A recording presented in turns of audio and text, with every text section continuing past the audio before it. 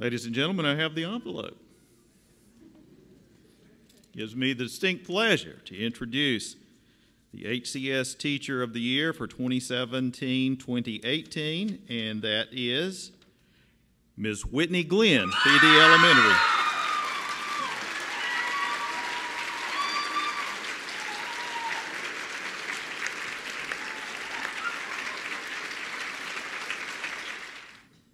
This time, uh, Ms. uh, Glenn will provide uh, a response to our group. Congratulations. Thank you so much.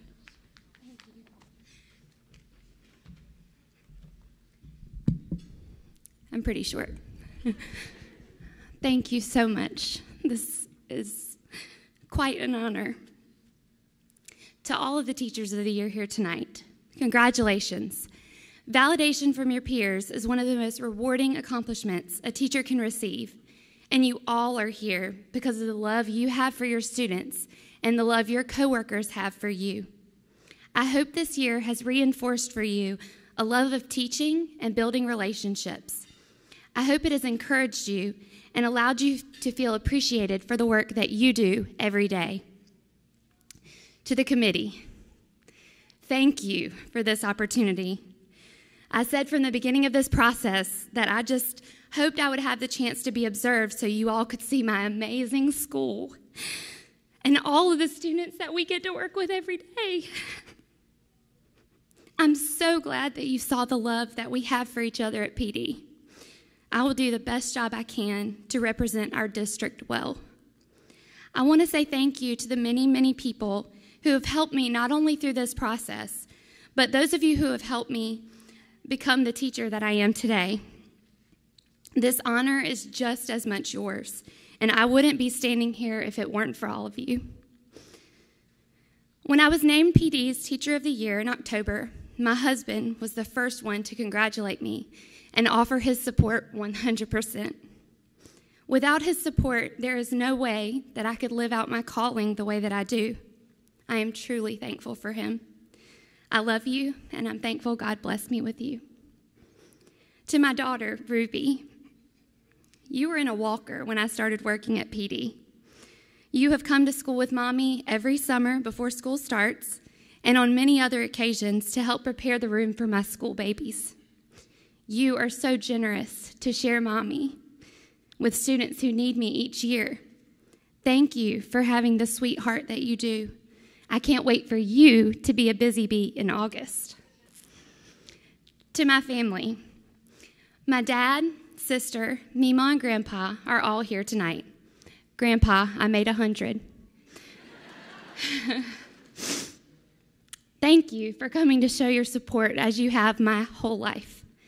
I've said many times throughout this process, I'm very fortunate to have a supportive family. Taylor, thank you for listening to me present my literacy portfolio and for helping me convey the message that was in my heart. I want to thank my mom, Joe, Spencer, and Kyle for supporting me, not just through this process, but through every goal I've set throughout my life. Our family has instilled in me a strong work ethic and love of learning new things. We challenge each other and we love unconditionally, and I can't thank you all enough for that. To my friends, home group family, and all the people who have prayed and offered words of encouragement, thank you. I'm blessed to have your friendship, and I'm glad God put each of you in my life.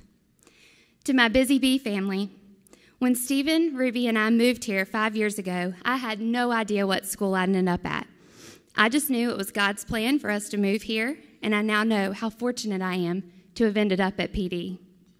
We have a building full of passionate and dedicated teachers.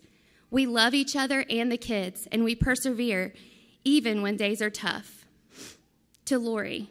I can never say thank you enough for coaching me, challenging me, and sharing your knowledge with me. You have pushed me to be the best teacher that I can, and you have instilled in me how important it is to be intentional with my planning.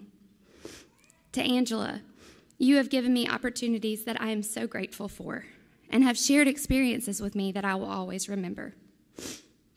To Wendy, you believed in me from the first lesson you observed when I was an ADEPT. You probably, you probably had no idea how nervous I was to teach that lesson in front of you. You told me that day and have continued to remind me that teaching is my calling, even that day in the kitchen when I really needed a word of encouragement. Thank you for sharing your baby girl with me this year and for your love and support. To the kindergarten team, I am so thankful for the four years we got to work together. We were able to bring out the best in each other, and you will always hold a special place in my heart. To my Holly, we truly made one good person. I would not be standing here today without your endless love and support.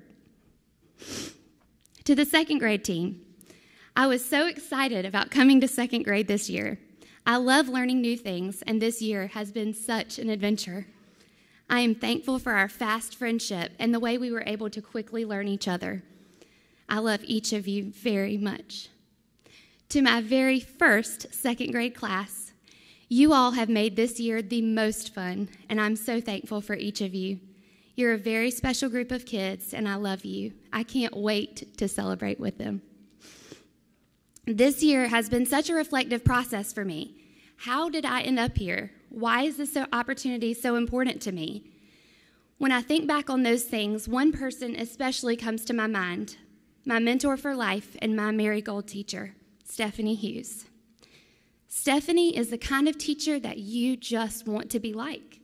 She loves her students first and foremost. She just gets it. When we planned lessons together, I just wanted to know exactly what she was going to say and how to say it so that the students would understand. I know the kindergarten farm is always open with a listening ear and a word of advice, and I love you. I hope that I can be half the mentor to other teachers that Stephanie has been to me. Teachers have the absolute best job in the world. We get to go to work with students and build relationships every day, and we have the opportunity to multiply our influence through ordinary kindnesses. We have the chance to get to know incredible children with individual stories and strengths. We have the opportunity to get to know families some who are fortunate and have great support systems, and some that we have to step in and be the support system. We get to interact with little personalities and watch them have countless light bulb moments where we just know we got a concept through to them. I know that when I go to work each day, my babies are counting on me to smile and help them. They know that I want to see them succeed and reach their full potential. They want to sit by me at lunch and share every little moment of their lives with me. I want to encourage you that no matter what program you're teaching or what initiative we have going on, the most important thing is to love your students. You wouldn't be here tonight if you didn't. Being a part of Horry County Schools has afforded me opportunities I never imagined. I am so excited about the opportunity to represent our wonderful district. I will do my very best to represent the many amazing teachers that we have. Every experience God gives us, every person He puts in our lives, is the perfect preparation for a future only He can see. I've held on to this Corrie Ten Boom quote throughout this process, and I am excited about the future and representing Horry County Schools as this year's District Teacher of the Year. Thank you so much.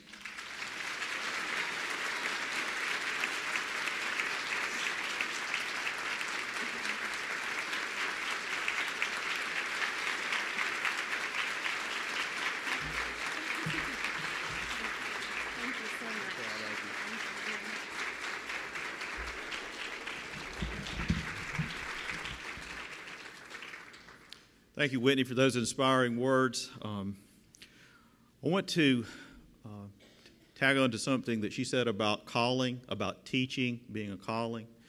Uh, I know as I look out over this audience that there are, are many people present representing many different family connections. Uh, there are uh, husbands, there are wives, grandmother, grandfather, children. You know, when you assume the role of a teacher, uh, it's not just a job that ends at the end of the day. You continue to work. It's not a job that ends at the end of the school year. You still continue to work over the summer. You stagger and, and you uh, work schedules with your spouse.